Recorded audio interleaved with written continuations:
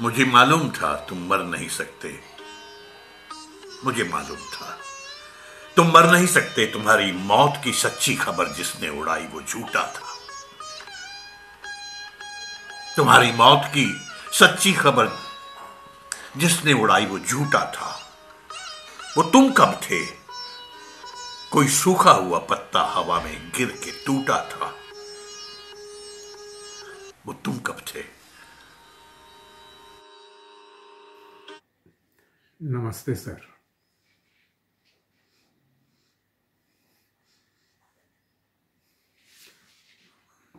Sir, Alkazi साहब, आप हमें उस उम्र में मिले थे जब बड़े सपने और हौसले होते हैं पीढ़ियों के आगे। हमें याद है, इंटरव्यू में हमने कोई बहुत शातिर और बहुत नॉलेजेबल जवाब नहीं दिए थे। आपने हमें और हमारे साथ बहुत सारे ऐसे नौजवानों को चुना था, जो आज हिंदुस्तानी रंगमंच में कई तरह के काम करके खामोश हुए हैं। आपसे कई बार मतभेद भी होता था और आप नाराज़ भी होते थे। और फिर भी आप हमें काम करने की सलाहियत देते रहे। और हमें नहीं मालूम था कि आपके न होने पर हमें इतना शिद्दत से एहसास होगा। आपने राष्ट्रीय नाट्य विद्यालय को और रंगमंच के कर्म को एक मर्यादा दी a sense of discipline, sense of dignity, and commitment. आपके पास आने के पहले हमने या मैंने अपने साहित्य और कवि गुरुओं से जो सीखा था उस सोच को आगे बढ़ाने की चुनौतियाँ आपने दी। हम अपनी पीढ़ी की ओर से और ख़ास तौर के अपनी ओर से आपकी याद को सलाम करते हैं। आपने हमें पता नहीं क्या से क्या बनने पर प्रेरित किया और विवश किया। आपकी याद को सलाम उनके तैयार किए जो स्टूडेंट थे, वो हमारे टीचर रहे हैं, हमारे उस्ताद रहे हैं। उनसे उनके किस्से कहानियाँ सुनी हैं। और वो सब सुनने के बाद ये तय होता है कि वाकई एक अजीम शख्सियत हिंदुस्तान के रंगमंच की एक महान शख्सियत जिसने मॉडर्न इंडियन ड्रामा की एक पहल की, एक नई सोच के साथ, एक विजनरी आदमी और कमाल का विजन ड्रामे को लेके एक अच्छा विजन रखने वाला आदमी अब हमारे साथ नहीं रहा। उनकी किस्से कहानियों में डिसिप्लिन कमिटमेंट इन सब चीज़ों का पता चलता है।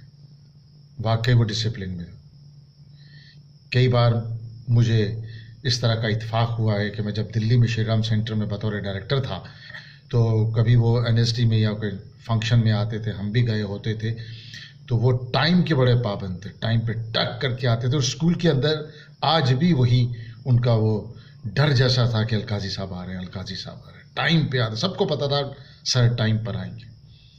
मैं अपनी ओर से और अब अपने जम्मू कश्मीर के तमाम कलाकारों की ओर से उनको श्रद्धांजलि भेंट करता हूँ और दुआ करता हूँ कि अल्लाह ताला उनकी रूह को सुकून दे और जन्नत फिरदौस में जगह अता शुक्रिया। आमीन। नाट्य क्षेत्र में एक बुरे युग का समाप्त, समाप्ति हो गई है।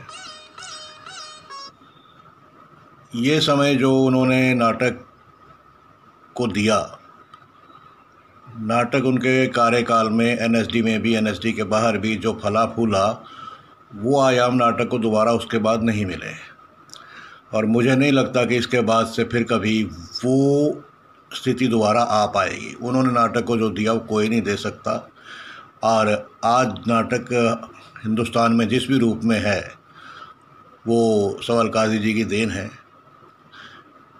मैं परम पिता परमात्मा से प्रार्थना करता हूँ कि उनकी आत्मा को अपने चरणों में स्थान दे।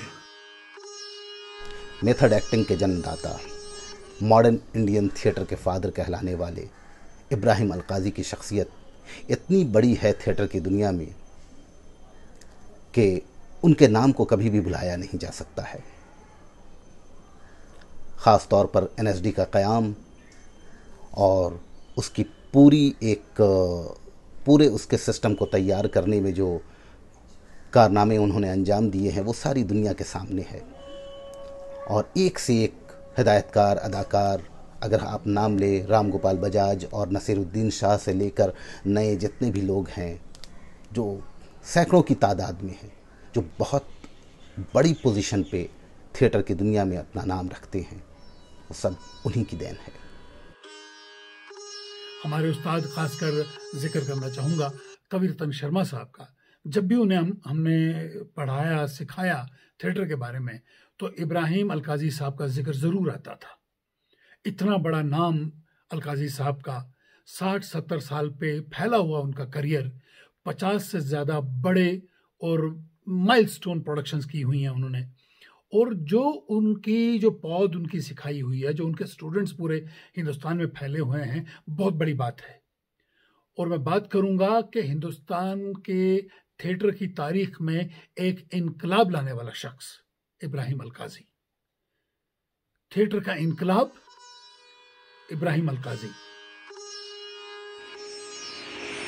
अलकाजी साहब a great teacher who will remain a part of the psyche of the artist of this country for long years to come he was a guru of gurus He was the guru of my guru, Dinesh Thakur. Alkazi Sahab was consumed by this passion to create, to make good, great theatre and great theatre people as part of the landscape of this country. कुछ लोग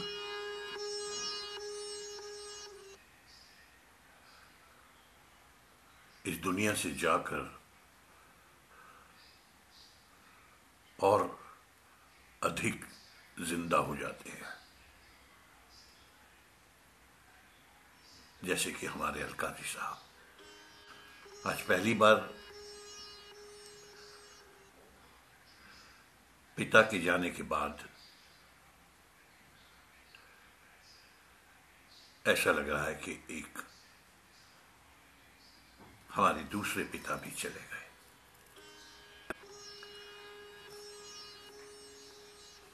पिता जन्म देता है और गुरु पुनर्जन्म देता है। उनके जाने पर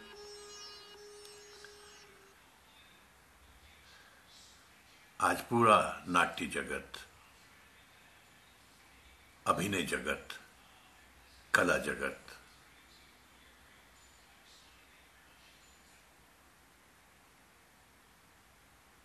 ये सब के सब उनके जाने का शोक मना रहे हैं।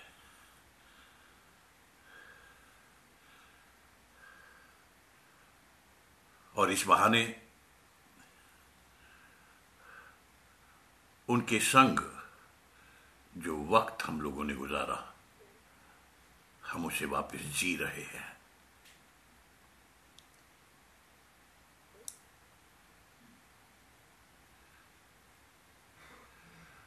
उनके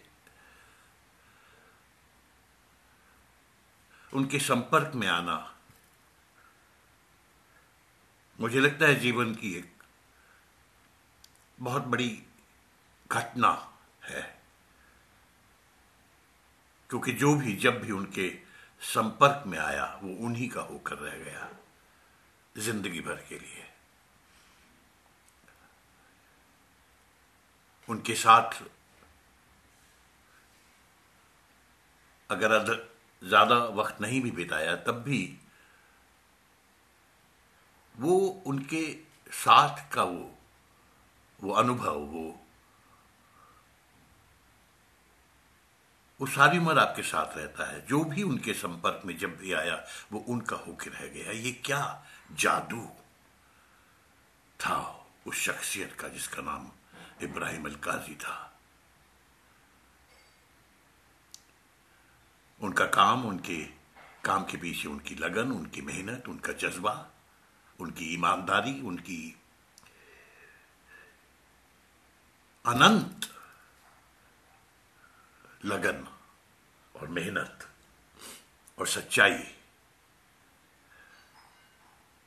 वो आपका पीछा नहीं छोड़ते। उन पर बोलना,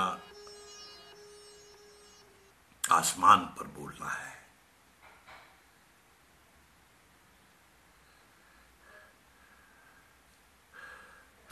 निदा फाजली साहब की कुछ लाइनें अगर इस मौके पर मैं उधार लूँ तो वो मुझे मालूम था तुम मर नहीं सकते। मुझे मालूम था। तुम मर नहीं सकते, तुम्हारी मौत की सच्ची खबर जिसने उड़ाई वो झूठा था। तुम्हारी मौत की सच्ची खबर जिसने उड़ाई वो झूठा था। वो तुम कब थे? कोई सूखा हुआ पत्ता हवा में गिर के टूटा था। वो तुम कब थे? कोई सूखा हुआ पत्ता हवा में गिर के टूटा था। मेरी आँखें तुम्हारे मंजरों में कैद हैं अब तक। मैं जो भी देखता हूँ, सोचता हूँ, वो वही है जो तुम्हारी नेकनामी और बदनामी की दुनिया थी। मेरी आँखों में अब तक कैद है।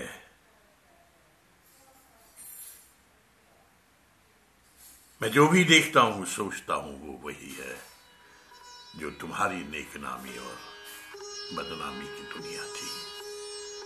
सलाम।